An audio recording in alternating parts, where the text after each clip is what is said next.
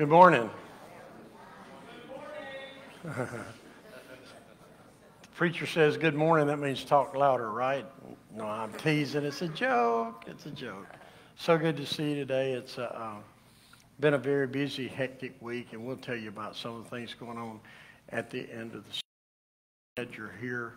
Um, many people are on the prayer list, but today, this is God's time his service. We give him our hearts. We give him our attention. So if you will, bow with me. And uh, if you'd like to join me at the altar, feel free. If, uh, um, if not, you can bow where you are. You can kneel where you are. You can stand. But let's go to the Lord in prayer.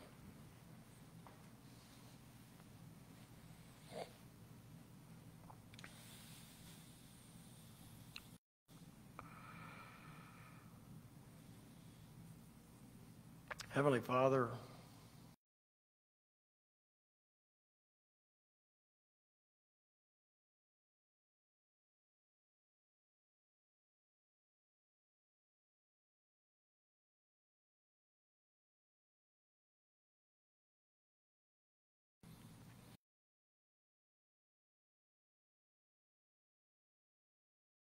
habit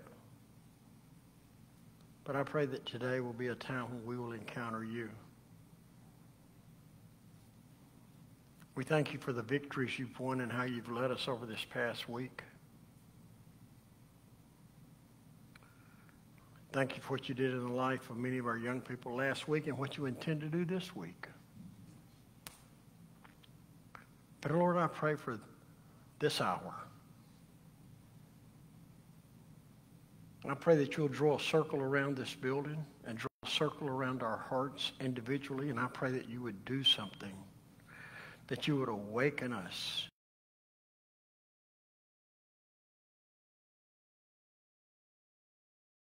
That you will awaken them. I pray that you will draw them to yourself.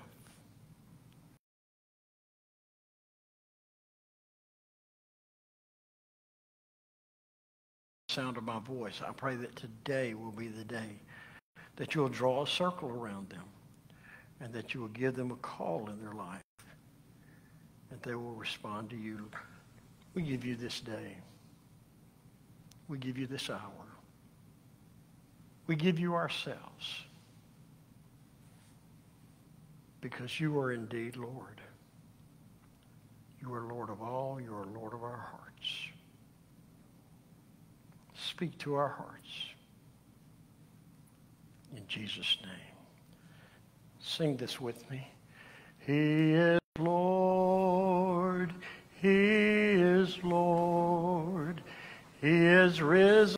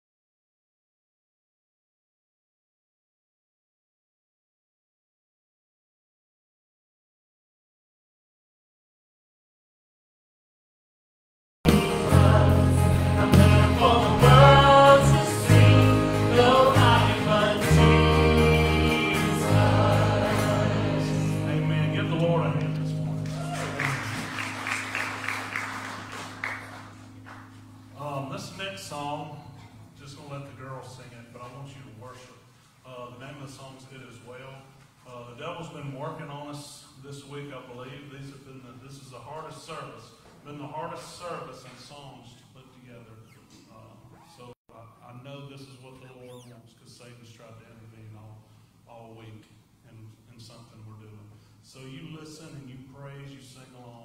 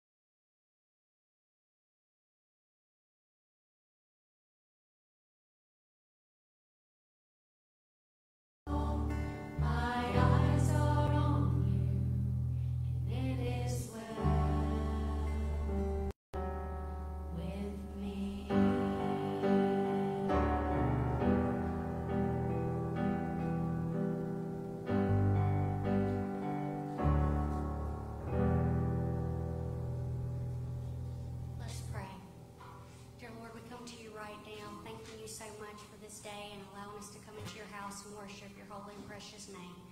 I pray, Lord, that no matter that we know that no matter what we go through, you're right there for us, and that you can see see it through everything that we do.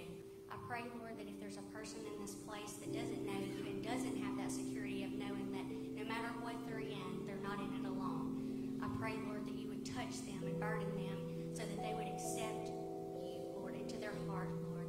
I pray, Lord, all about, Lord. It's not about us, it's all about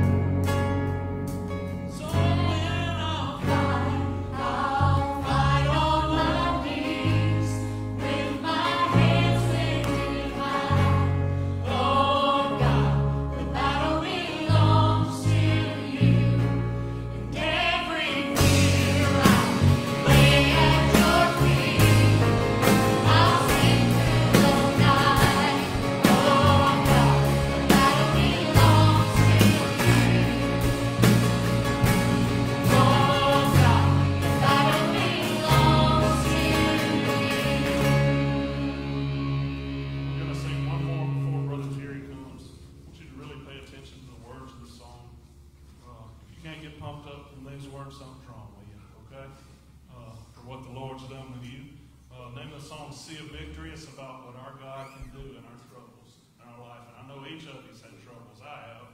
And it's amazing what God did. I know He'll do that for you. So you sing with us.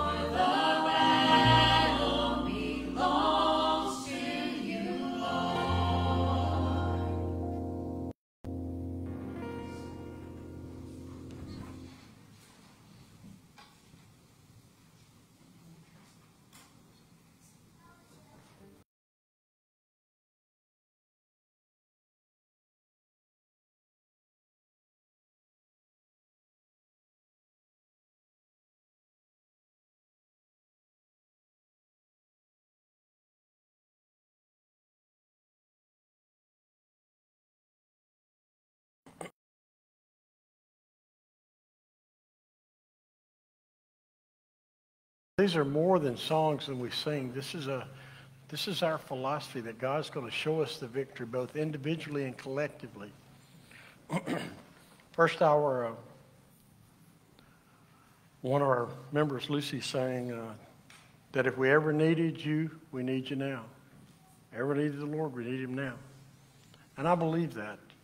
I believe we get so taken with ourselves, and as this uh, scripture will, will unpack for us, that we need him now. So here's what I'd like to do.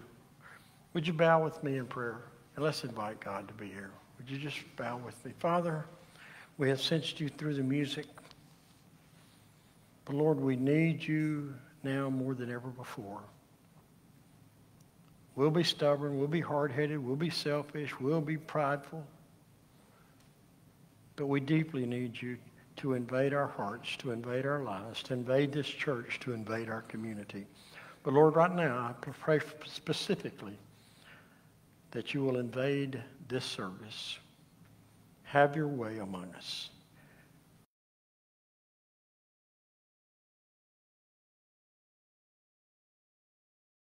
Yeah. Now, if you don't know that you know exactly where Haggai is, I'm going to give you three possibilities to find it, okay? It, it falls between Zephaniah and Zechariah. That help you, Tim? Zephaniah and Zechariah. They didn't help you, you can go to Matthew in the, in the New Testament and you can turn left for about three books Malachi, Zechariah, and Haggai. Or if you can't find um, Haggai, go to your table of contents and it'll give you the page number and you'll be able to find it there. Haggai, third from the last book in the Old Testament. Haggai chapter 1. It was around 1970 when a man named Gordon Jensen, a man who would later, I'm glad to say, would become a friend, close acquaintance, uh, wrote these words. He penned these words in around 1970, and every quartet sang them. When I was here last time in, the, in 73, we sang it a lot. Here's the words to the chorus Signs of the time are everywhere, and there's a brand new feeling in the air. Keep your eyes on the eastern sky, lift up your head, for redemption draweth nigh.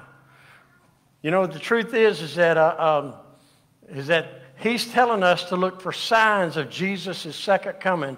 And here's what I'd like just to tell you today Jesus is coming again, whether you're ready or not. He's coming again, and we will be judged. You and I will be judged, not on my standards, not on what I want, but on his standards, what he set up in Scripture in the Bible. But signs are a part of our life. In fact, if you look on the screen, you'll see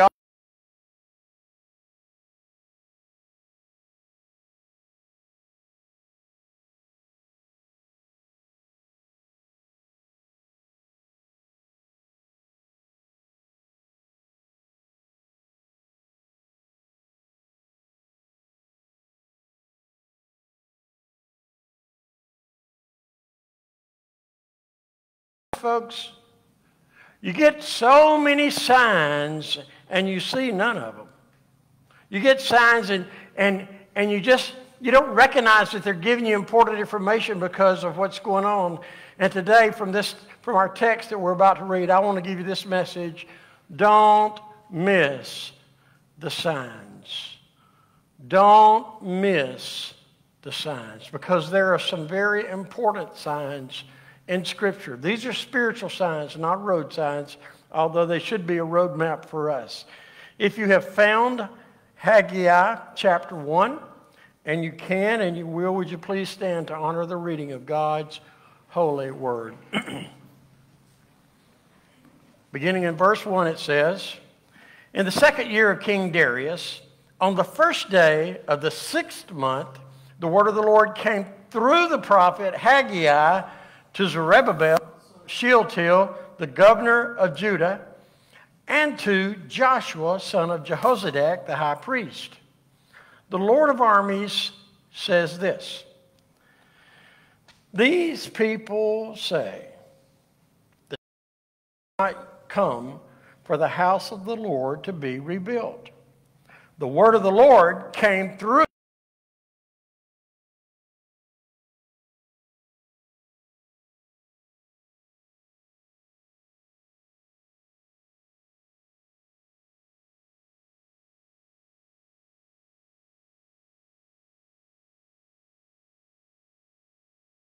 this house, he's talking about the house of the Lord, lies in ruins.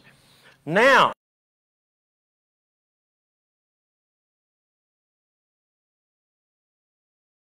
about your ways. You have planted much, but harvested little. You eat, but never have enough to be satisfied. You drink, but never have enough to be happy. You put on clothes, but never have enough to keep warm. The wage earner puts wages into a bag with a hole in it. The Lord of armies says this Think carefully about your ways. Go up into the hills and bring down lumber and build the house, and I will be pleased with it and be glorified, says the Lord. You expected much, but then it amounted to little.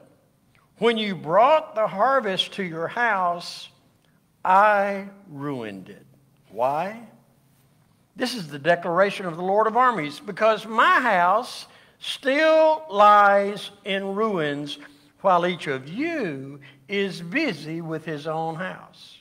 So, on your account, the skies have withheld their dew and the lands its, land its crops. I have summoned a drought on the field and the hills.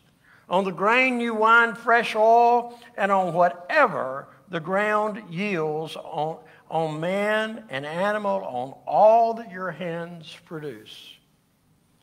Then Zerubbabel, son of Shealtiel, the high priest, Joshua, son of Jehozadak, and the entire remnant of the people obeyed the Lord their God and the words of the prophet Haggai, because the Lord their God had sent them, sent him. So the people feared the Lord. Then Haggai, the Lord's messenger, delivered the Lord's message to the people I am with you. This is the Lord's declaration.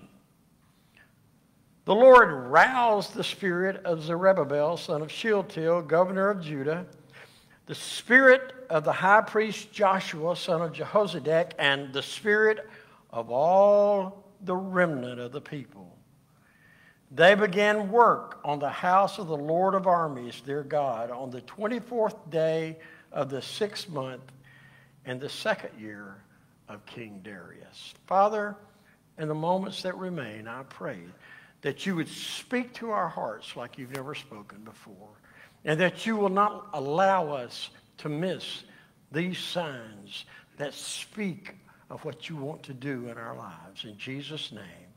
Amen. Thank you. You may be seated. It is likely that in order for you to really grasp the message that we just read of the, in those 11 verses, that we may need to take just a minute. I know some of you are not history buffs. I'm not particularly a history buff, but it's important for us to know how we got to Haggai chapter 1. Most of you remember the name King David. He had a son, King Solomon. You remember that King Solomon built and in the book of Chronicles, he built this impressive temple. I mean, it was an impressive temple. Years to build. In today's dollars, it would have probably cost between three and four billion with a B dollars to erect that temple. You will know from your Sunday school lesson that that temple stood there in Jerusalem for 400 years somewhere around close to 586 BC, remember it's counting down, 586 BC, King Nebuchadnezzar and the Babylonians came to Jerusalem. They leveled Jerusalem. They destroyed Jerusalem. They destroyed the temple. They took all the sacred things. And King Nebuchadnezzar took the Jewish people in hooks and chains and took them off to Babylon in captivity, where they remained under the iron rule of this pagan king. And by the way, God had worked in the heart of King Nebuchadnezzar, a pagan king. He can do that, he's God. Because the reason that they were defeated and carried off into captivity was because they had been disobedient to God. They stayed there for about half a century. And somewhere around 539, King Cyrus of Persia defeated the Babylonians. And immediately when he defeated the Babylonians, he began to let the Jewish people return under the leadership of Zerubbabel so they could go back and reestablish the city and rebuild the temple. Well, they were excited and they went back to town and they immediately got on this building of the temple. If you were to go, don't go right now while I'm preaching for land's sakes, but you can go to the book of Ezra. Look in chapter 3, and what you'll find is that they got the foundation laid. They got the, the foundation, like I picture the slab. They got it put out there. Everybody could see it. And there was a great celebration. Ezra says that the young people, that the young people shouted for joy and that the older priest wept loudly. And the last sentence of chapter 3 says something like this and the sound was heard far away. There were no sound systems, there was no electronics, but you could hear them far away because they were so excited that the foundation of the temple, the great temple, where God could come and dwell, had been completed. Well, Ezra 4 and 5 is the Baptist part of history. Ezra 4 and 5 shows opposition.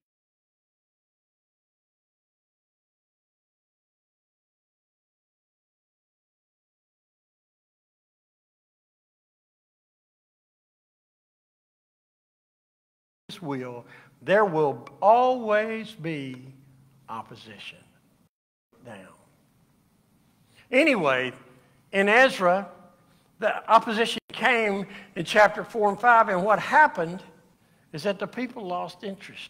They didn't have thick enough skin. They had other things they wanted to do. Things were going good in their personal lives, so they, they, they, they could do other things. And so they just lost interest.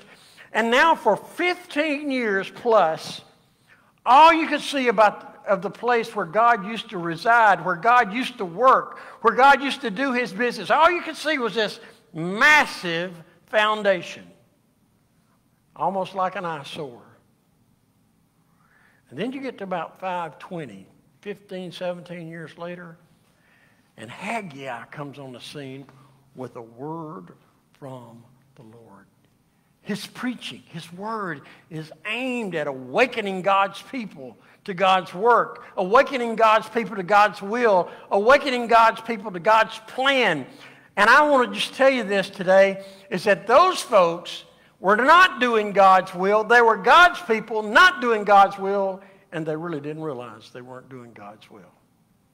Because it's hard to think that you're not doing God's will when you're being blessed so much. But there were some signs that we're going to lift out of here. I want to lift four signs to you out of, out of here. Four signs that I don't want you to miss. Because I think they're not only here, I think they're here in our culture today. First of all, I don't want you to miss the sign of spiritual apathy. You know what apathy is? It's having a don't care. It's having a lack of concern. It's having a lack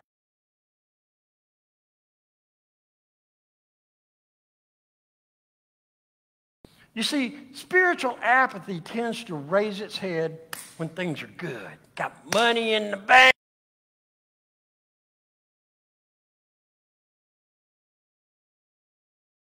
Wait. Here's what I'll tell you about apathy. Apathy breeds abandonment. When you get apathetic, you think nothing about walking away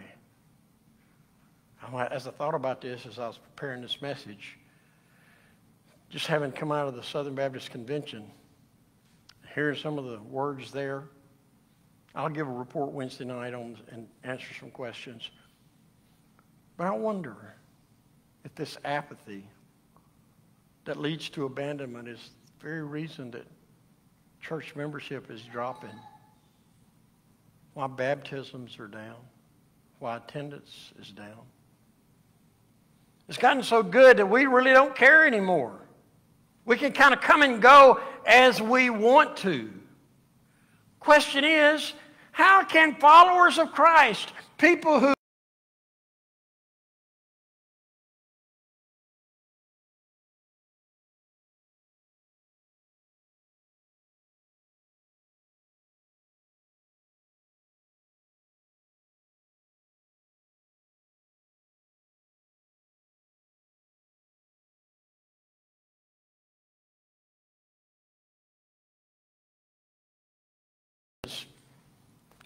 When God tells you to do something, tells you to do something, you know He's told you to do something, but because it really doesn't matter to you, you choose to do what you want to instead.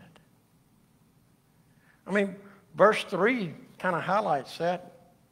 Is it a time for you yourselves to live in your paneled houses while this house lies in ruins? If I were to put it in a late 21st century question, I would go, is it really time? Is it really time for you yourself to make it all about you and your desires and not what God's told you to do? For you see, God tells us to do some things. God tells us to forsake not the assembling of ourselves together. Hello, as is the manner of some. God, God tells us to be faithful, to be committed. Jesus said, Take up your cross and deny self. The mantra today is take up self and deny the cross. Now, the tragedy is anytime we resist anything, we become calloused. You see, apathy breeds callousness.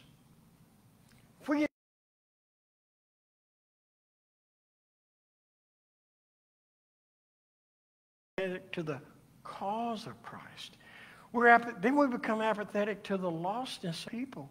We really don't care. Then we get apathetic to those folks around us who are in need, and it becomes all about us in here. And then when church takes action and church does things, when the church body looks about doing things, all they want to do is what's in it for me, as opposed to what's in me for it. Resisting God's word is easy. Brother Jerry, been a member for a lot of years. Well, that's good. I never heard such like this. We do this church the way we want to. Now, I'm just going to tell you, nobody's ever said that to me at this place. Okay? Nobody. But it could be an attitude. We just do it for ourselves. We try to do it. Our, this is God's church. Could I get an amen? This is God's church. And we get apathetic when we resist God's word. We get, an, we get apathetic when we replace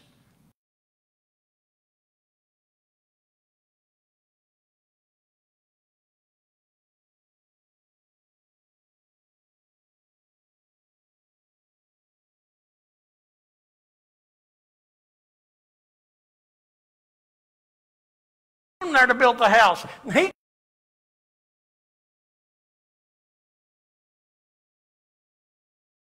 They put it off, they procrastinate. They put it off, they procrastinate. You see, God says, do this. And we go, well, we can't do that. It won't work. Or we should wait on doing it. That's what happened here. And may I just suggest that's what happened many times in the local church. First sign of opposition, we choose to replace God's word. We choose to resist God's word. That's what they did. It's a lesson for us. Now, before you get really judgmental and before you get really indignant of what these people do, I, I, I think we ought to consider what's going on today in the church.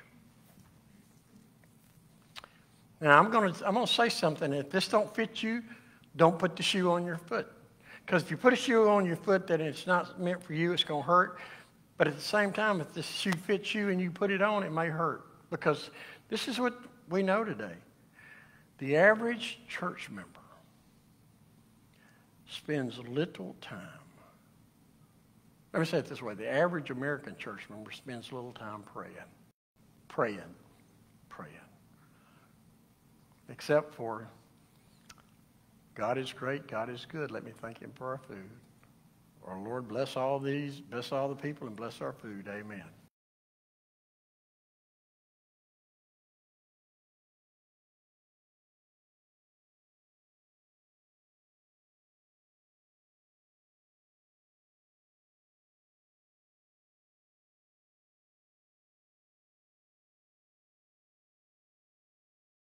The average church member spends little time in Bible study, personal Bible study. I, I said this hour. I know somebody will say something to me down the road, but one of the I understand when they did it. It was one of those things that that we put out there to help people. I understand that, but that seven point system that's caused many, much many people to sin because you know it has on their daily Bible reading. You remember that? And somebody get up and they'd read two verses. I can check it off because I read the Bible today. And that's not really what discipleship's all about. Discipleship is investing yourself in the Bible. You understand that whatever you invest yourself in has a return on it.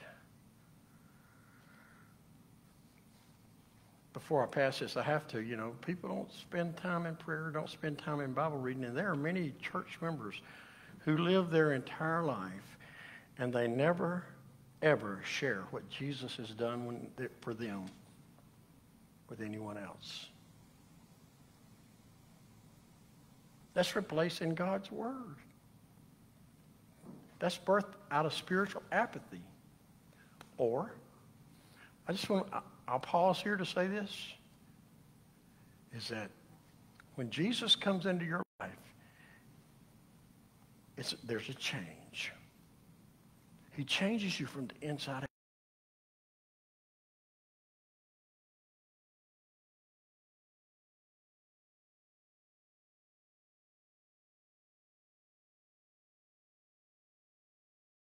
next to me said, I went up last week and I'm getting baptized. Are you going to go? And I said, I'm on, I'm there. Bang! I went up and I gave the preacher all the right answers, but nothing happened in here. Here's what I'm going to say to you. If the only thing you have in your life is that you walked an aisle, you took a preacher by the hand, you prayed a prayer, you went through a small swimming pool and got dunked in the name of the Father, Son, and the Holy Spirit, if that's all you got, if that's all of your Christian life, at the end of the, in that day, as Jesus said, you're going to come up short and you're not going to like it.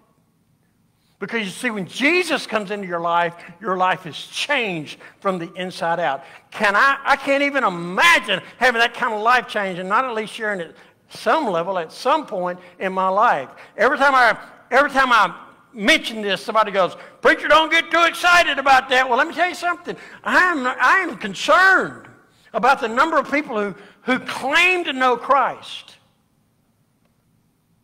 and have nothing to show for it. Because a walk with Christ is not just sitting in a pew or a Sunday school class, it's not just walking through the waters of baptism, it's about giving your heart and soul to Him.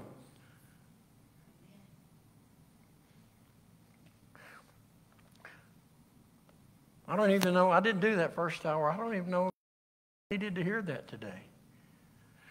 Apathy comes from us replacing and resisting God.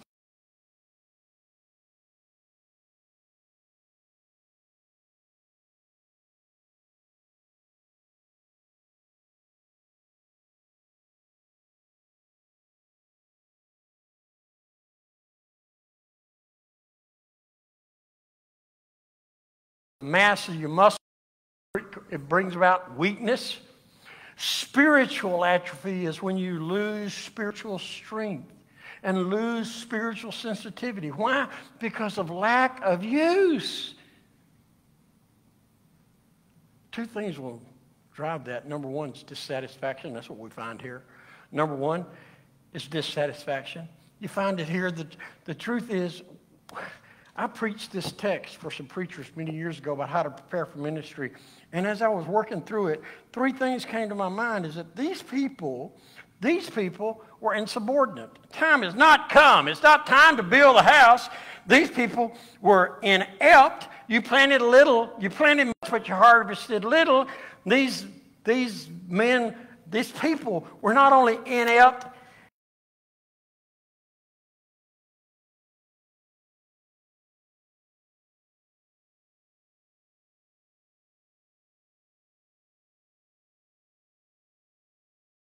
It's just never enough.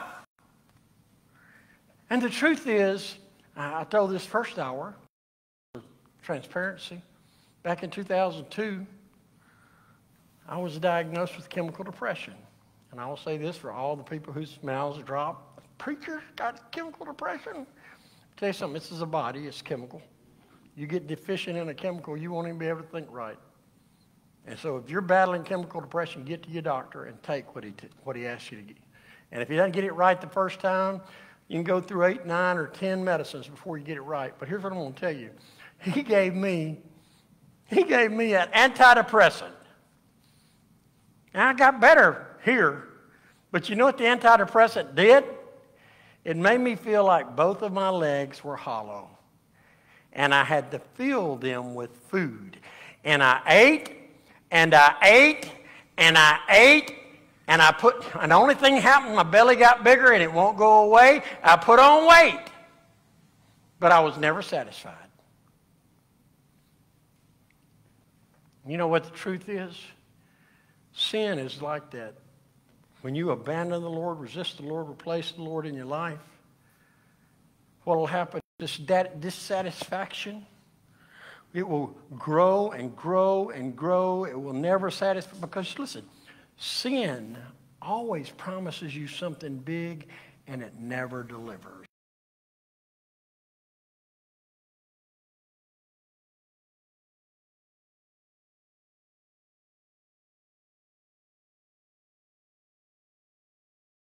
out. How many times have I had men or women sit across the desk from me and tell me, I'm having this adulterous relationship, but God understands. And I say this to you, no, he doesn't.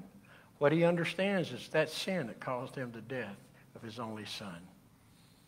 Dissatisfaction always leads to disappointment. Always leads to disappointment. You see, the, the text says you got the wage earner puts money puts, uh, puts his wages into a bag with a hole in it. Now, can I just kind of get a smile here? Is anybody in this room, you ever kind of make your money, get your money, and you put it somewhere and it feels like a hole in your pocket? Anybody?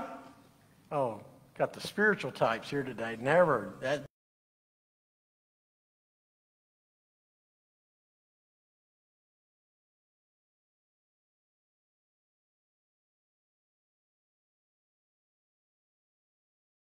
There's something always going wrong. That's the material side. How about the spiritual side?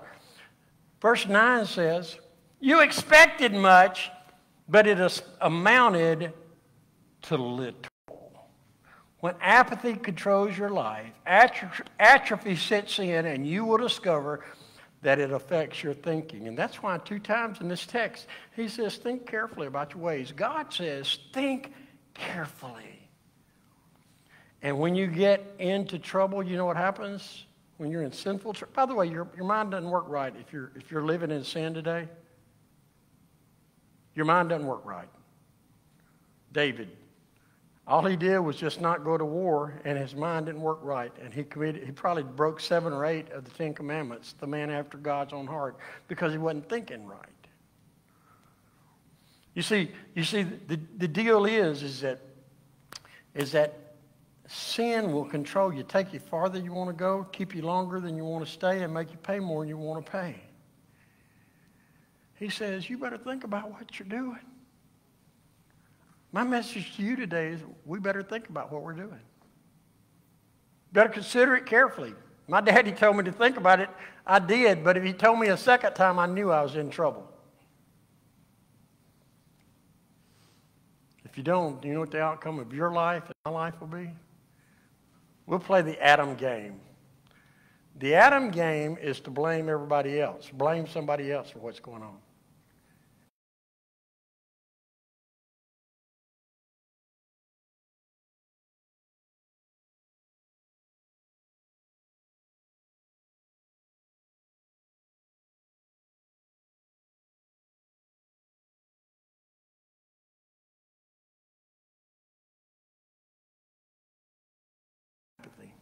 It's walking with Jesus. I want to say that again. It's walking with Jesus. I don't mean walking away from Jesus. I don't mean walking to Jesus' house just on Sunday. I mean walking with Jesus every day. Jesus calls us to follow him. Jesus calls us to follow him. Hello? Jesus calls us to follow him. We commit our lives to him because he died for us on the cross. And then we follow him. Apathy and atrophy. Let me give you the third sign. This is what I pray for.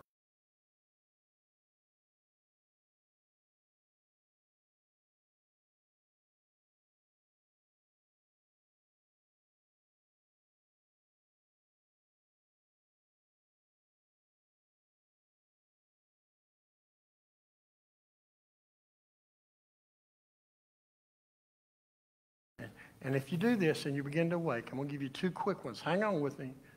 Number one, it will cause you to recognize the problem that you have. It'll rec- cause you to recognize the problem. If you look down at verse 9, he says, You expected much, but it amounted to little. When I brought the harvest to your house, watch this, I ruined it. God ruined it. Did you hear that? You think things are going good and God ruins it. Why is that? Because he says, My house lies in ruins. Here it is. My house is in ruins because you have placed yourself above me. These folks had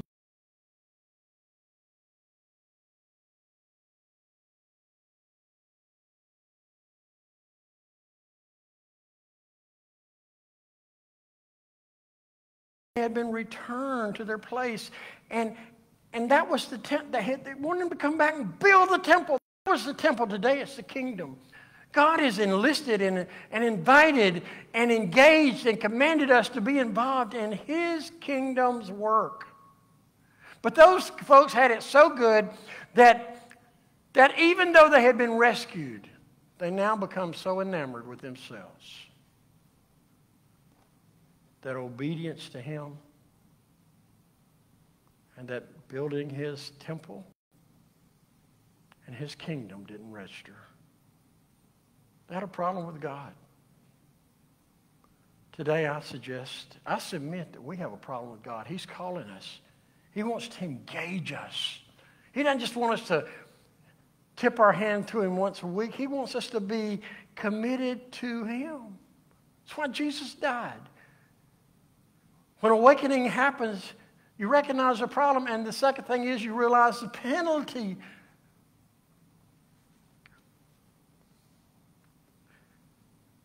Verse 10 and 11 basically says it's your fault that a famine's coming.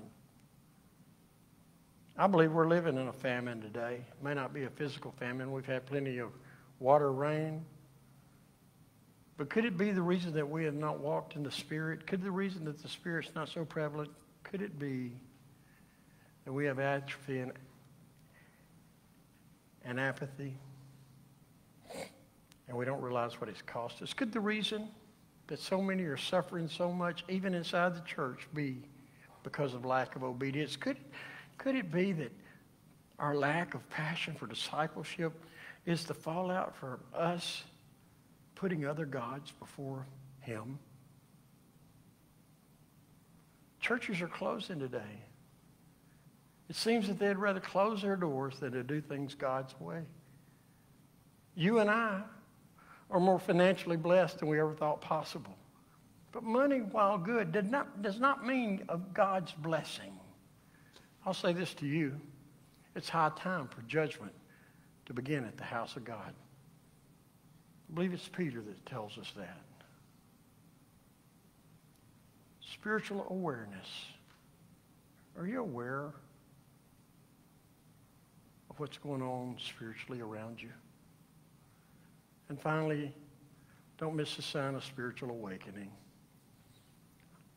I really don't have time to develop this like I'd like, but I will just tell you that if you look here in verse 14, it says, The Lord roused the spirit of Zerubbabel, arouse the spirit of uh, Joshua, arouse the spirit of the people. That's awakening with respect to everyone in this room. That's what we need today. We need to get as excited about Jesus and what he wants to do for us.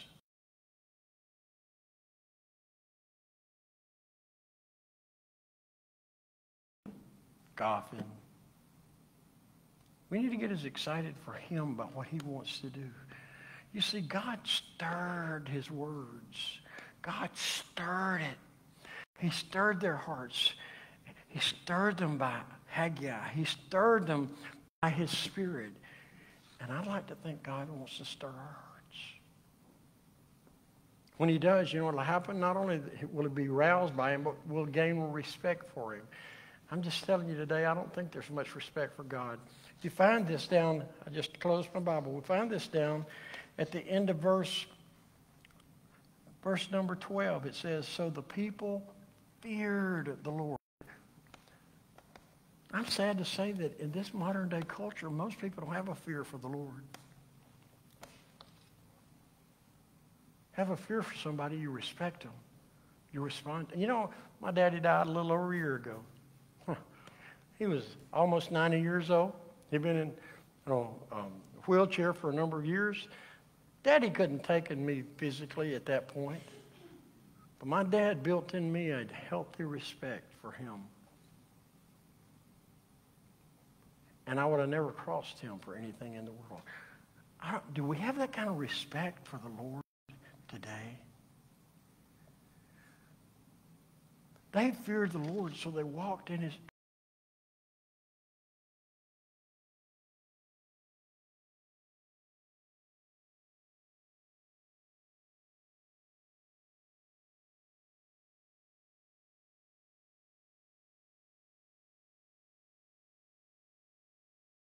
Because in that day, there'll be no decisions made.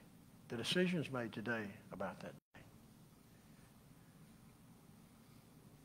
They feared the Lord. And then I will end with this. The sign of spiritual awakening will be roused or stirred. We'll have respect or fear, but lastly, that will respond. You, their response to the Lord. It tells you down there that they began work on the house of the Lord. I want to say this again. Back then it was a temple. Today it's his kingdom.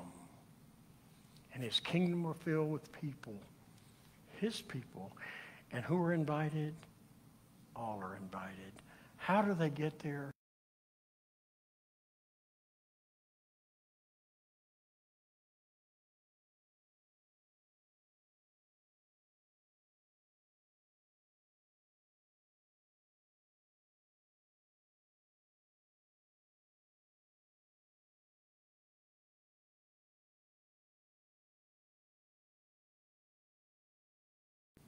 Are you awakened?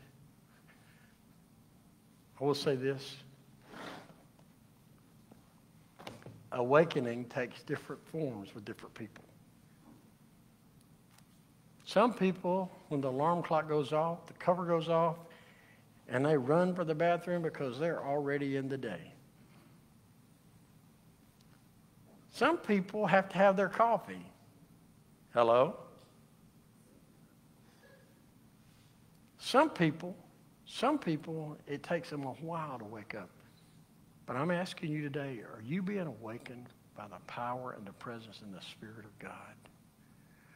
And I'd like to think that we as a church, that God is beginning to shake us. It's probably what we'll talk about in two weeks. But Shake us, stir us, and rouse us. If you've never trusted Christ, I want you to be a part of that. Maybe he's shaking you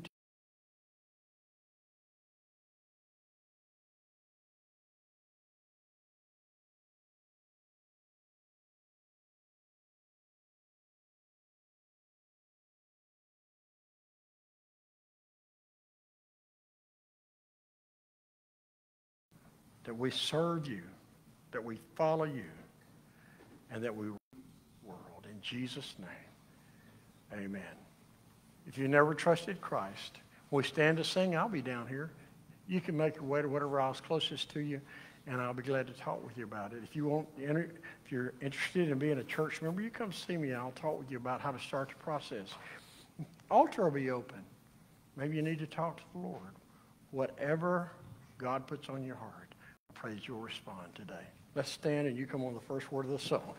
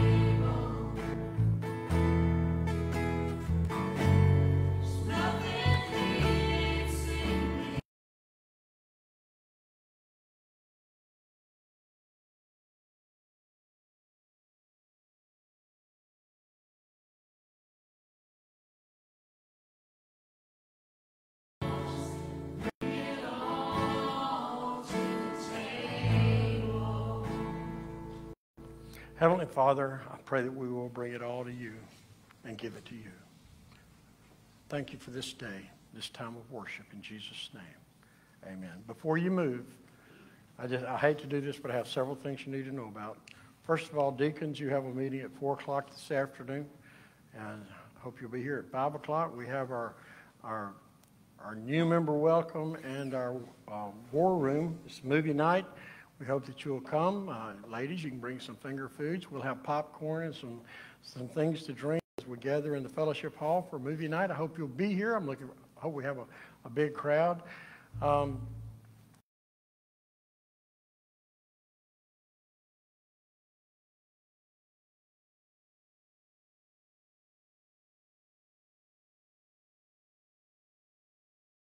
We think we'll have services on Wednesday, but uh, we got a, we got young people leaving for camp in the morning. We got student, uh, we got children leaving Tuesday morning.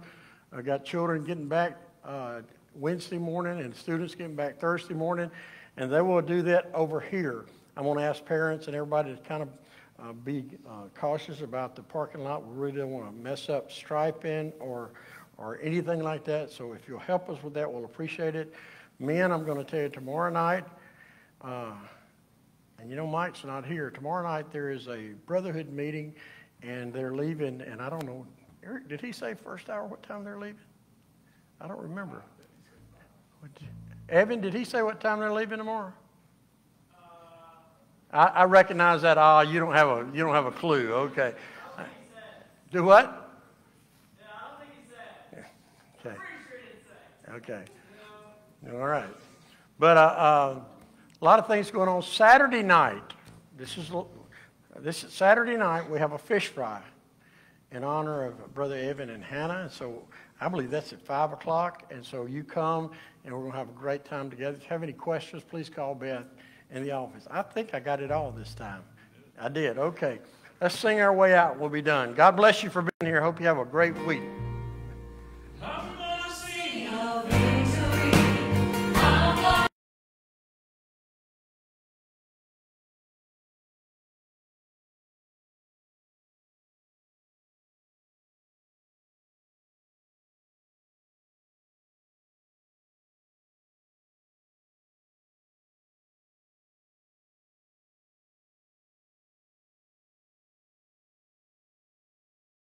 Mike and our grandkids are here today, so I hope you'll welcome.